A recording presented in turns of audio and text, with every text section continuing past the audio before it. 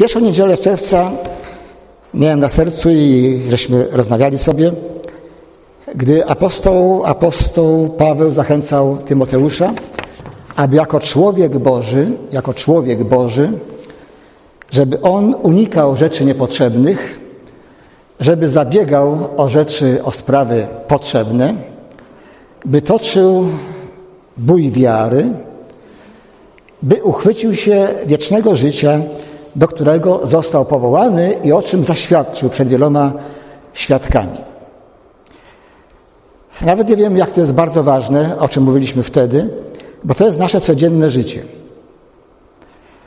Apostoł Paweł przyrównuje do różnych osób, różnych zawodów nasze życie, między innymi do zawodnika. Pamiętamy?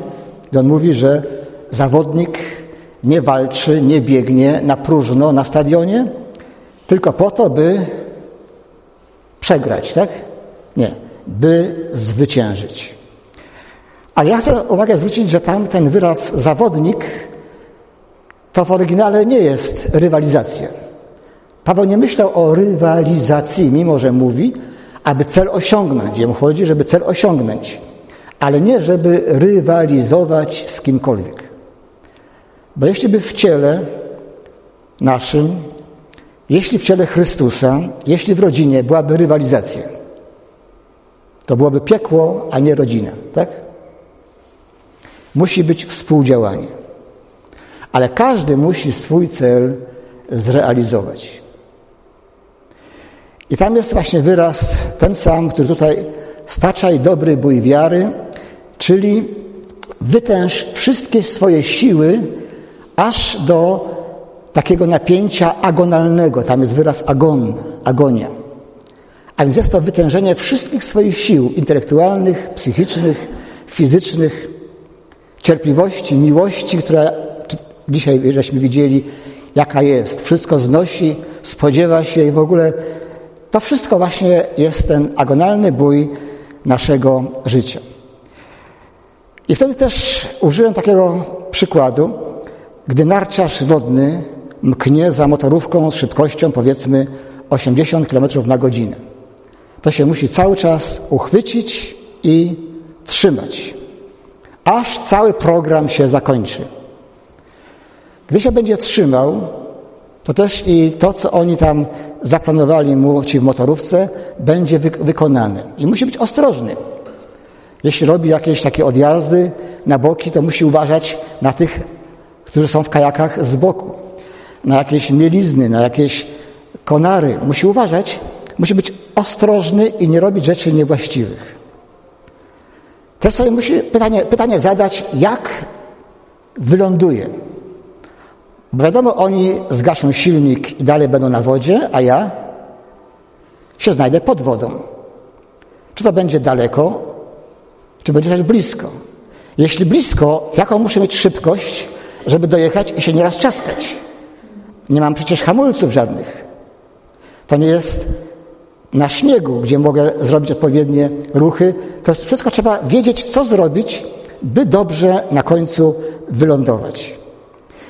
Dlatego też i w naszym życiu, podobnie jak narciarze, biegacze, zapaśnicy, cały czas mamy to natężenie, ogromne natężenie. Teraz wiemy, jak niektórzy sportowcy nam opowiadają, gdy usta pełne śmiechu i reklamy z ich twarzą są i reklamują jakieś różne instytucje, a oni w tym czasie przeżywali depresję, załamanie.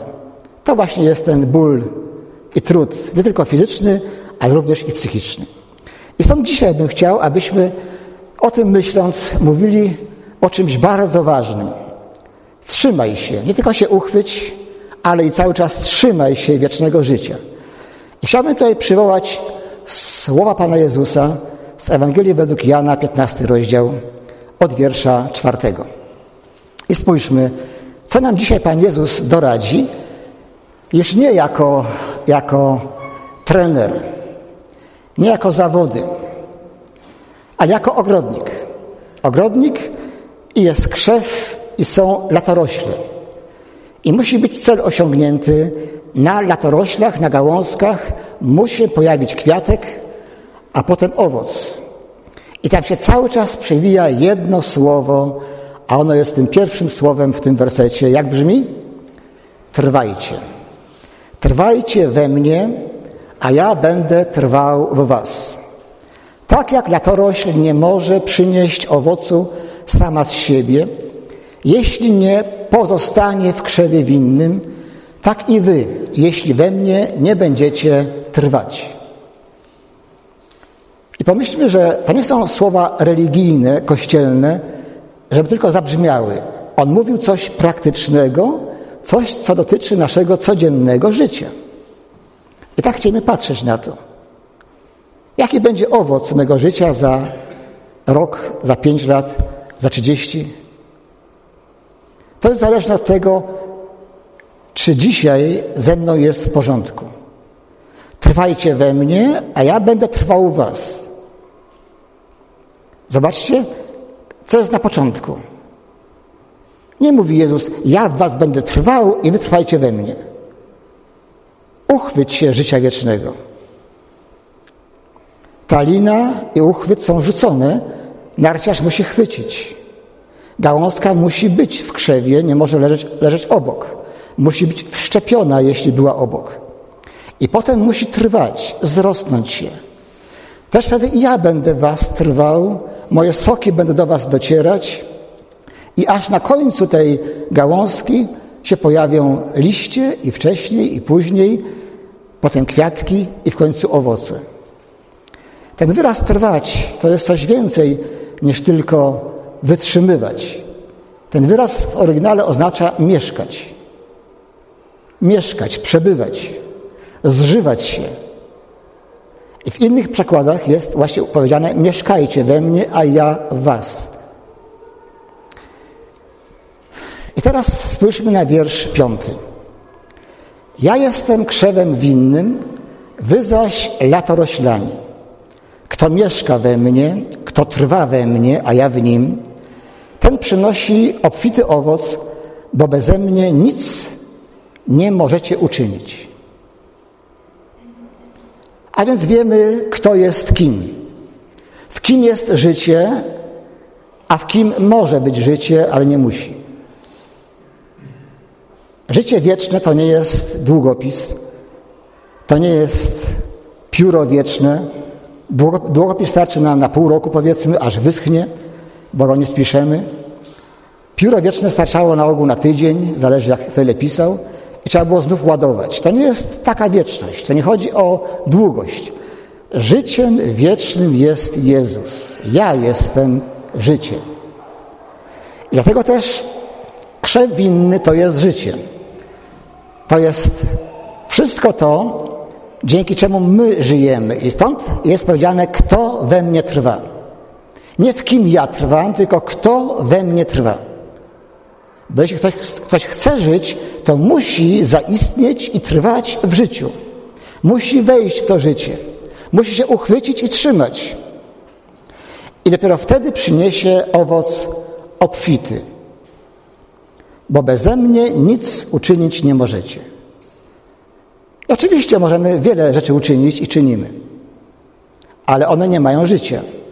A jeśli to takie tylko doczesne, takie tylko, które na chwilę trwa i ma skutki również różne. Ale to życie, o którym mówimy, to wieczne życie i na ziemi, na przykład ta miłość, o której żeśmy dzisiaj słuchali i czytali. To tej miłości nikt z siebie nie wykrzesze, żadna latorośl. Jeśli z Chrystusa nie weźmie tych wszystkich cech, tych zdolności, jakie tam były w 13 rozdziale Koryntian nam podane. Beze mnie nic w zakresie miłości, agape nie uczynicie, nic. Niczego. Macie tylko miłość ludzką. Miłość, która jest na chwilę. I potem jak Piotr, przestraszony, wypierał się Jezusa, mówi, nie znam tego człowieka. To jest taka nasza miłość, gdy latorość jest bez Chrystusa, nie mieszka w Chrystusie. I szósty werset powiada, jeśli. Jeśli ktoś we mnie nie trwa.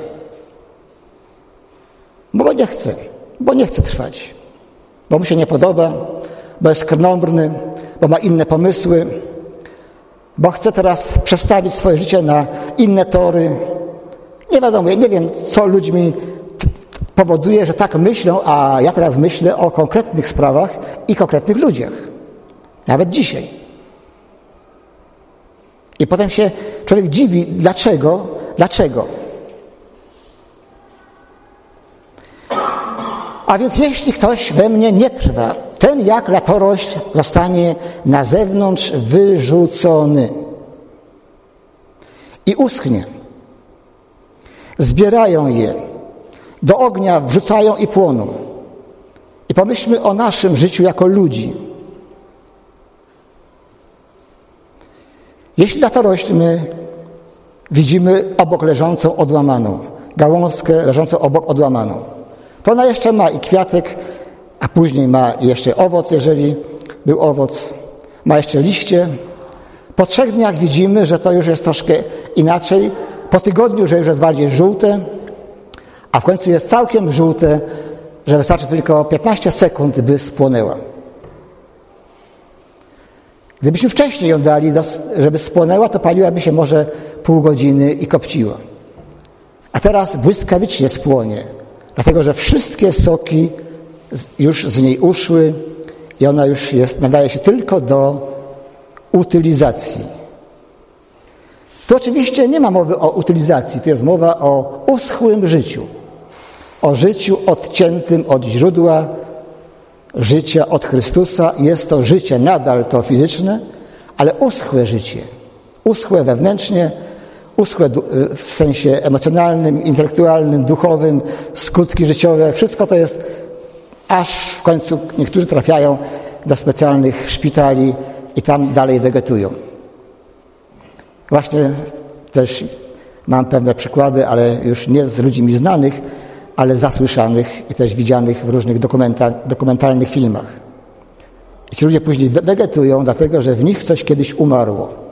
Umarł kontakt z tymi, którzy dawali jej, tej osobie życie. I stąd, jeśli ktoś nie trwa, to będzie na zewnątrz, nie będzie wewnątrz, nie ma mieszkania w Chrystusie, Chrystus w nim nie mieszka, nie ma trwania. I siódmy werset. Jeśli we mnie będziecie trwać. Szósty mówił, że nie. Jeśli nie, nie chcecie trwać, a teraz jeśli we mnie chcecie trwać. Jeśli moje słowa będą w was mieszkać i trwać. Poproście o cokolwiek chcecie, a spełni się wam. Zobaczcie, zobaczmy, jakie jest wspaniałe. No, jak to nazwać, to zdanie, co? Powiedzcie mi. Jak je nazwać? Spójrzmy na tekst. Jak nazwać to zdanie jednym słowem? Co to jest? Co? Obietnica. Obietnica. Hmm. Przyrzeczenie.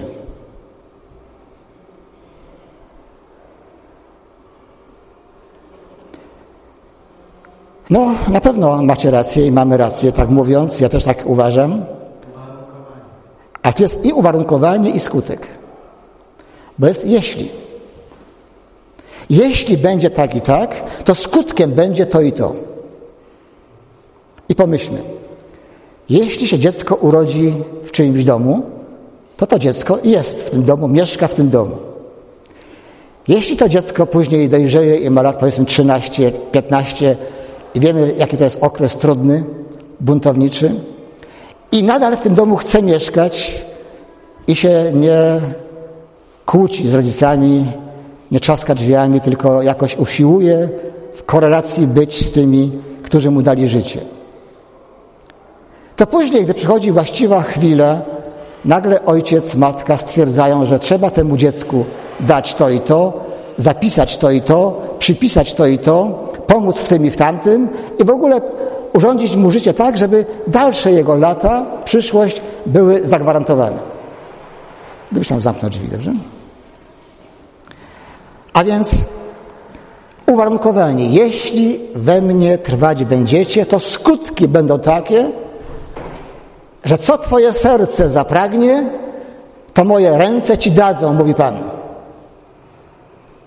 Co Twoje serce, czego ono zapragnie, to moje ręce Ci dadzą. To jest dobre czy złe? Jest dobre pod warunkiem, że mieszkamy w Chrystusie. Gdy w nim nie mieszkamy, to potem możemy prosić o rzeczy, które są nam szkodliwe. I ręce Jezusa nam nie dadzą, bo jego serce i głowa powiedzą nie. Ja wiem, że jemu to, jej to zaszkodzi. Wtedy mówimy, nie kochasz mnie już, bo nie chcesz mi dać. Najczęściej wtedy Bóg milczy. My się modlimy, wołamy, mówimy, Panie, tu napisane jest, jeśli będę prosił, to mi dasz, musisz dać, boś obiecał.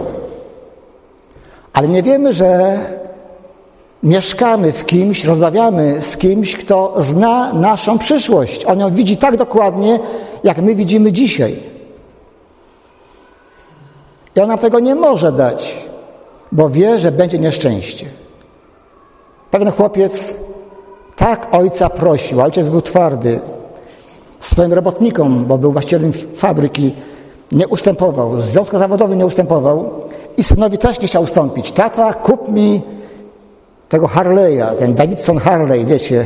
Tata, kup, przecież no staćcie, no ta, tata kup. Ojciec wiedział, że nie, bo syn jest nieposkromiony, gdy chodzi o różne zachowania. I mu cały czas odmawiał, odmawiał, odmawiał. I syn był na ojca oburzony. Mimo, że ojciec już przewidział dla niego różne udziały w firmie, różne beneficje związane z jego studiami, ale on nie myślał o studiach. On myślał tylko o tym. I wreszcie mu się udało zarobić jakieś pieniądze i na drugim roku studiów kupił sobie sam tego Davidsona Harleya i mówi teraz pojadę i pokażę ojcu. Jak mu zabzykam pod oknami, to mu szyby całe za, za, no, zadygoczą. I ruszył w podróż. W tej podróży miał wypadek, kręgosłup mu pękł, leży w szpitalu. No i dalej już oszczędzę wszystkich, wszystkich perturbacji. Dopiero zrozumiał, dlaczego ojciec mu nie chciał dać, bo syn nie był jeszcze dojrzały. Gdyby miał 35 lat, 40, gdyby już znał wartość życia, to, to i owo przeszedł, nauczył się, to może dopiero wtedy mógłby usiąść. Niektórzy w wieku lat 25-30 już są w stanie, niektórzy, ale nie wszyscy. A więc tu nie ma reguły, ale Bóg wie, co nam może dać. I spójrzmy na werset ósmy. Mój ojciec, mój ojciec będzie uwielbiony przez to, że przyniesiecie obfity owoc i staniecie się moimi uczniami. Tu jest właśnie cel ważniejszy od tej czy innej rzeczy. Uwielbiony to znaczy zadowolony z owoców, zadowolony z naszego życia, z tego, co wykonamy. Pan Jezus powiedział, Ojcze, uwielbiłem imię Twoje, wszystko wykonałem, coś mi zlecił. Na krzyżu powiedział, wykonało się. To jest właśnie uwielbienie, nie słowa, nie piosenki. One też są ważne, ale są tak ważne jak te kwiatki. Daliśmy je i w porządku. I on jest w doniczce, więc będzie sobie rósł nawet i trzy lata i będzie radował. Ale gdyby nie był w doniczce, to po tygodniu już by trzeba było je wynieść na śmietnik. A nawet i po tych trzech latach też ten kwiatek zmieni się i może być może trzeba będzie go usunąć. Zobaczymy. A więc, kochani, Bóg chce być uwielbiony czymś trwałym. Więcej niż tym, czym my jesteśmy uwielbiani przez to, że nam ktoś coś da, że nas czymś zadowoli. Gdy obfity owoc przyniesiecie i, tu jest właśnie cel, staniecie się moimi uczniami. Ja jestem słońcem, a wy słoneczkami się staniecie. Wy małe księżyce. Jak te dzieci u Edyty na szkółce, prawda? Ile trudu ona musi przejść z każdym z nich. A to są księżyce, które dopiero trzeba popracować, by stały się słoneczkami i same kiedyś też dzieci uczyły, powiedzmy, na szkółce. To jest proces. I to jest najmilszy prezent dla nauczycielki. I właśnie Bóg tego oczekuje, że staniemy się Jego uczniami. I spójrzmy na następny werset dziewiąty. Bo jak mnie umiłował Ojciec, tak ja was umiłowałem, trwajcie w mojej miłości. To jest ta miłość bezwarunkowa, że kocha nas dlatego, że jesteśmy. Kochamy Jezusa nie dlatego, że nam coś dał, ale że jest, jest naszym Zbawicielem i stał się naszym Panem. I mówi, trwajcie w mojej miłości. I są takie dwie siostry. Ja nad tym też myślałem, rozmyślałem sobie. Takie dwie siostry, które występują w Starym Testamencie. Ja tylko wspomnę. MW, MW na polskie, po polsku. Miłość i wierność. One są pięknie połączone w pewnych wersetach. Są bardzo, bardzo głębokie słowa. Miłość to już znamy, ale wierność. I właśnie tutaj trwać w miłości, ten element drugiej siostry, wierność, sprawia, że my trwamy w miłości. Jeśli ktoś nie zdradza męża czy żony, to komu jest wierny na pierwszym miejscu? Pomyślcie. Ktoś świadomie unika wszystkich pokus i możliwości i zachowuje wierność swojemu współmałżonkowi. Komu jest wierny na pierwszym miejscu? Ktoś, kto nie jest wierzący. Nie chodzi, że jest wierny Bogu. Pomijamy to. Komu jest wierny? Na pierwszym miejscu jest wierny tej osobie, którą codziennie widzi w lustrze. On musi być wierny samemu sobie. By sobie móc popatrzeć w twarz, gdy twarz goli, czy kremuje, czy włosy czesze. I tu właśnie musimy być wierni sobie. Gdy ktoś jest uczniem Jezusa, to ma taki odruch. On nie zrobi czegoś, co jest niegodne ucznia Chrystusa. Dopiero później będzie wierny tej drugiej osobie, której ślubował. A więc to jest ten element mieszkania, trwania w miłości Boga jako uczeń Chrystusa. I spójrzmy na wiersz dziesiąty. Jeśli będziecie zachowywać moje przykazania, moje wskazówki, to, czego ja oczekuję, jeśli będziecie trwać w mojej miłości, jak i ja przestrzegałem przykazań Ojca mego i trwam w miłości Jego. I to jest też ten warunek, jeśli. Jeśli. Jeśli będziecie trwać, zachowywać moje przykazania, to wtedy też i skutkiem tego będzie trwanie w Bożej miłości, podobnie jak i Jezus przestrzegał wskazówek swego Ojca i trwał w Jego miłości. Ja się na ogół zawsze wyraz przykazanie, ja to spotkałem w ciągu tych pół wieku stale, że zaraz ludzie do dekalogu biegli. Zawsze dekalog się z wyrazem przykazanie nam jakoś zakodowany jest dekalog, dekalog. Ale to nie tak. Tu chodzi o coś więcej niż dekalog. Tu nie chodzi o dziesięcioro przykazań, które są u podstaw, ale one były dane człowiekowi, ludziom, gdy człowiek był słaby, gdy był niezdolny do tego, by stać się uczniem Boga. Musiał być w rygorach, jak pies, którego tresujemy, jak koń w zagrodzie. Musiał być w rygorach, jak samolot, który leci i ma pewne wskazania i się musi ich trzymać bezwzględnie. To było wtedy dane ludziom. Gdy Chrystus przyszedł, to otrzymaliśmy jaki zakon, jakie prawo? Mówi nam Jakub, zakon doskonały. Doskonały zakon wolności. A wyraz doskonały oznacza pełny, kompletny, bez żadnych uchybień. I Pan Jezus wyraźnie powiedział, że miłość Boga z całego serca, siły, myśli i duszy, miłość bliźniego jak siebie samego jest wypełnieniem, pełnością tamtych dziesięciorga przykazań. Bo jeśli kocham Boga, to też i te przykazania, które w dekalogu Boga dotyczą, te pierwsze trzy, wtedy wykonuję i pozostałe wykonuję. A więc Jesteśmy ludźmi nowego przymierza i stąd mamy możliwość postępować według nowych zasad, zasad odrodzenia, a nie zasad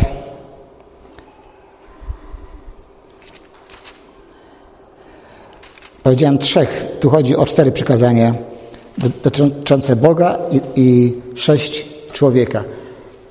Sprawdziłem teraz. Druga Mojżeszowa, rozdział 20.